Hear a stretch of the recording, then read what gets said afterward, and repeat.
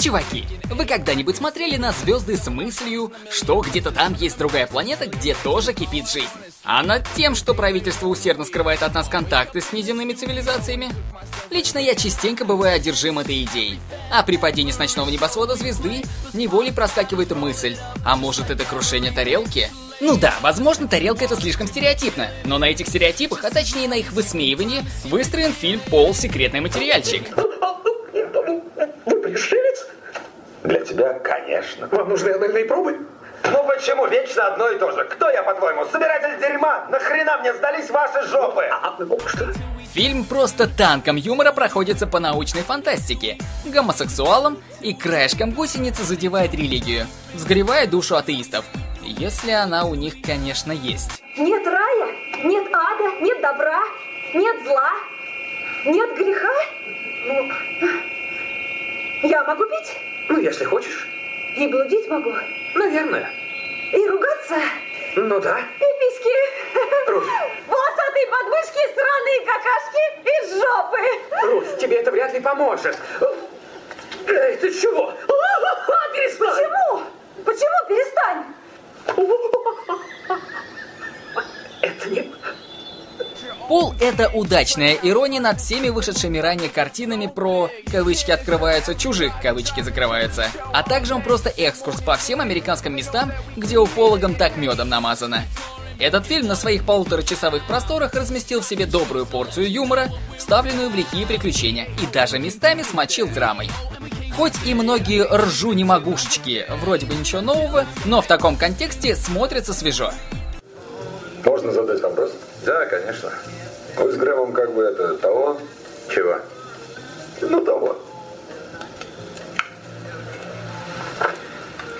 Того.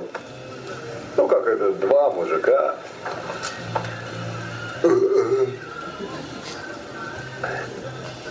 Что, не доходит?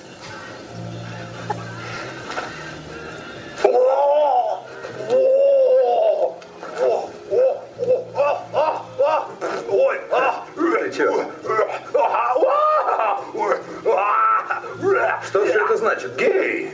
Нет! Даже шутки про яйца по отношению к космическому существу выглядят как переизобретенное колесо. Вы жертва похищения. Удерживающий вас в заложниках индивид опасен. Нет, что вы, какой там опасен. Ну, то есть он грубоват, очень ругучий. И пару раз чесал при мне свои космические яйца. В фильме «Люди в черном» есть такой диалог. Ты хоть знаешь, что Элвис умер? Вовсе нет, Элвис улетел домой. Ну а вот Пол приоткрывает нам тайну другой личности. Хочется, чтобы у него была необычная способность, что-нибудь такое да. мессианское, э, мессианское. Хорошо, Стивен. А как тебе клеточная регенерация? Не знаю, а что это такое? О, э, восстановление тканей путем манипуляции с памятью внутреннего поля. А поподробнее. Исцеление, мистер Спилберг. В общем, этот фильм не просто набор шуток, а несет даже свою философию, отодвигая местами туповатые шутки и передавая ему прелесть на фоне других подобных лент. Напоследок отмечу Саймона Пега и Ника Фроста, которые сами сценарий написали, а потом еще и сыграли главных героев. У этих мужиков отличный комический дуэт.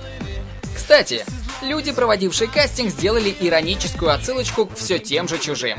Спойлерить не буду. Также хочется сказать пару слов о самом Поле. Не знаю, кто его озвучивал в оригинале, а вот в нашем российском дубляже это сделал Павел Воля. Видеть его в большом кино я не могу, а вот слушать дубляжи оказалось очень даже приятно. Кстати, у них проскакивают физиологические сходства. Подкаст «Сегодня в кино» рекомендует фильм «Пол. Секретный материальчик» для дружеской компании. До скорых встреч на киносеансах! Неплохо, правда?